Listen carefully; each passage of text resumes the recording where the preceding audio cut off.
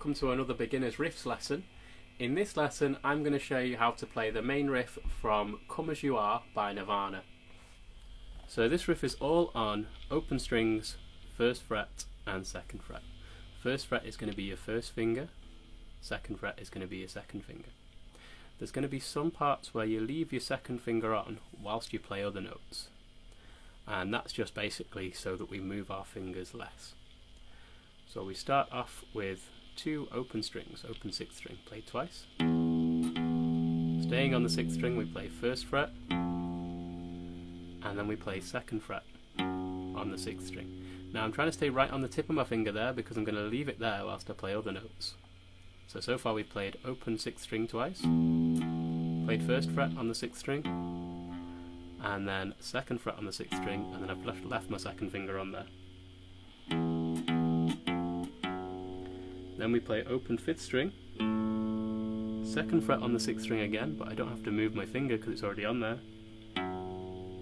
And then open fifth string again, and then second fret on the sixth string again two more times, and I still don't have to move my finger because it's still there.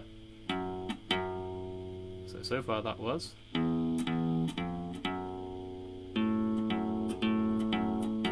And I definitely recommend leaving your second finger on there. On the record, it sounds like that's what he's doing because you can hear that note still ringing out when he plays the other notes. Uh, if you want to, you can also leave your first finger on because uh, it won't affect the sound of the other notes and it means that it's ready to play that first fret again when we come back to it. So we go open sixth string, open sixth string again, first fret, second fret. I'm just going to leave both those fingers there. Open fifth string, second fret on the sixth string, don't need to move my fingers.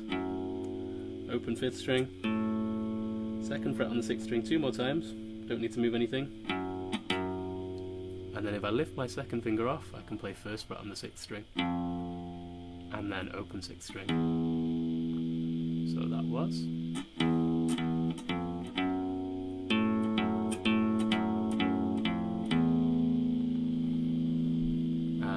Last note there was open sixth string, so I've taken both my fingers off again there.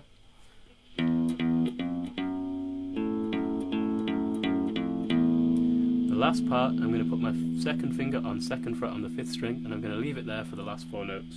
So I play second fret on the fifth string, open sixth string, open sixth string again, second fret on the fifth string. So all together, those last four notes were second fret on the fifth string, leave your finger on, open sixth string, open sixth string again, second fret on the fifth string.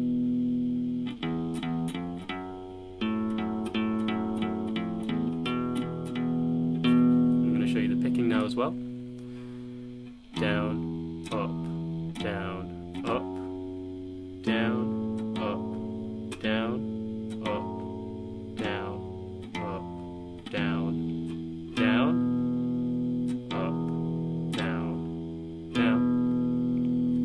It round in a loop, you miss off the first note after the first time you play it. So instead of after the first time you play it, instead of playing two open strings at the beginning, we just play one. So altogether, if I play it twice in a row for you.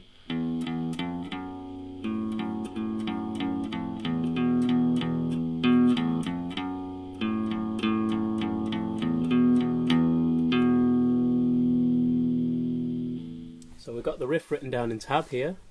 Uh, for those of you that don't already read tab, we've got um, six strings. Each string is represented by a line on here, so these six lines represent your strings. Uh, this is first string, that's your thinnest string. That's your sixth string, that's your thickest string. So this is all on the thicker strings, you can see that. Uh, all the notes are on the thickest string and the next thickest string, so sixth string and fifth string. The riff goes like this. Uh, when we play it in a loop, uh, after the first time round, we miss off the first note, so we go like this. Boom, boom, boom, boom, boom, no, down, no, no, down, down, down, down, down, down, boom, boom, boom, down, no, down, down, down, down, down, down, down, down, down. So on the second time through, in fact, on every time through after that, we miss off this first note.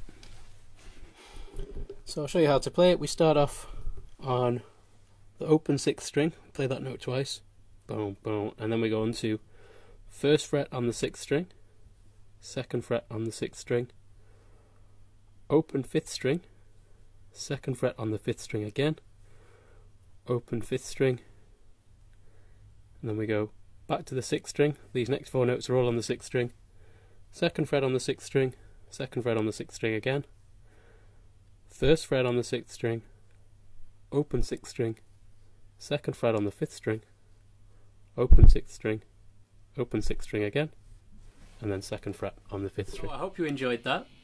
Now, as always, I recommend you start off by practicing the riff really slowly, focusing on making each note sound really clear. So instead of trying to speed up too soon, just make sure you're happy with the sound of every single note. Most of the time, if one of your notes doesn't sound quite right, it'll be because of one of a few things. It could be that you're not pressing down on the string hard enough. It could be that you need to get your finger closer to the fret. So if I play over here, it might not sound so good, but as I get closer to the fret, the note starts to sound clearer. Uh, sometimes it might be that one of your fingers is touching more than one string. So if I've got my first finger on um, second fret on the sixth string and I try and play the fifth string, it might sound like that, and that basically means that my first finger is touching the fifth string. So I need to make sure each finger stays on its tip. So let me just say that one more time for you. Practice the riff very slowly, make sure you're happy with the sound of each note. Keep your fingers near the frets, press down as hard as you need to, and make sure each finger is only touching one string at a time and most importantly, listen to the riff over and over again before you practice it.